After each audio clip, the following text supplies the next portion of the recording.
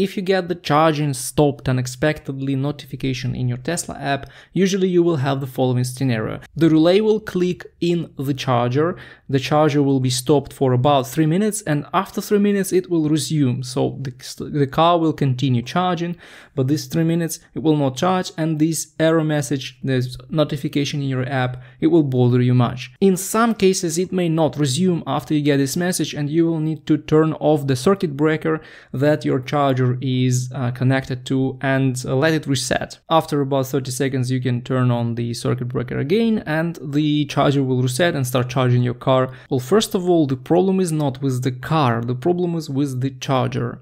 And a lot of Tesla owners who have Tesla wall connector, so the official, the OEM charger, they had these notifications uh, in their applications when they used the uh, certain type of firmware in the chargers. So there was a defective firmware version and when it was installed in your charger, it would throw this message from time to time. And it's actually not the hardware problem, it's the problem with the software that is installed in that charger. So if you just once got this notification, it's absolutely not a problem. Just reset the charger or it will reset on its own and continue charging your car.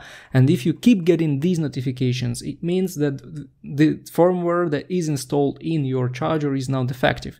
And what you need to do, you have two options. You can uh, get back to the older version of firmware if you have this file because I couldn't get the older version on the Tesla official website. Or alternatively, you can install the newer version of this of the firmware that has this bug uh, fixed. Actually, my recommendation is to go to the Tesla website and get the latest uh, firmware update for your type of charger.